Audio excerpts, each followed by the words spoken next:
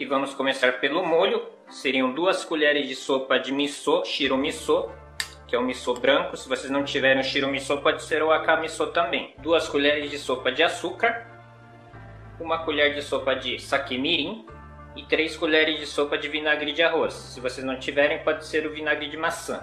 E agora é só misturar. Vamos misturar bem.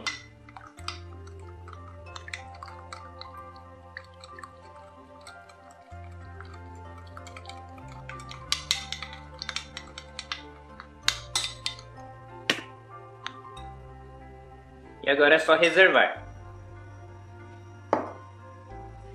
E agora vamos preparar os pepinos. Vamos cortar as pontas primeiro. E vamos cortar assim, na diagonal. Não precisa ser muito grosso também, nem muito fino, nessa média mais ou menos, nessa medida.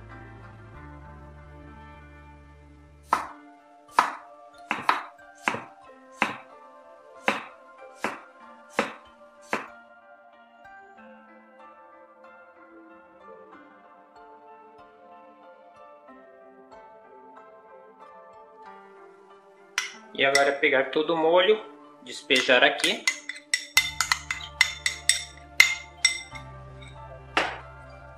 Misturar bem. Antes de misturar o molho, vocês podem colocar no sal o pepino e deixar por mais ou menos meia hora até uma hora. Ela vai é, soltar água e vocês podem jogar essa água e o pepino ela fica bem molinha. Só que eu gosto assim, eu prefiro assim crocante. Já só com molho mesmo ela já fica muito gostosa.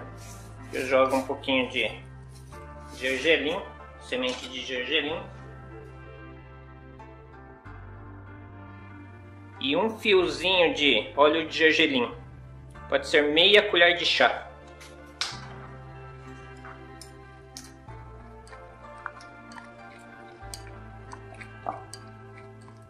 E aqui um pouquinho de pimenta chimi, tongarashi uma pimenta muito utilizada no lamen também.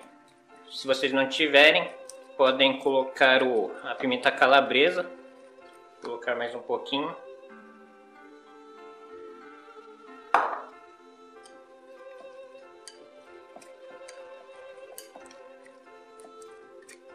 Está pronta a nossa saladinha de pepino.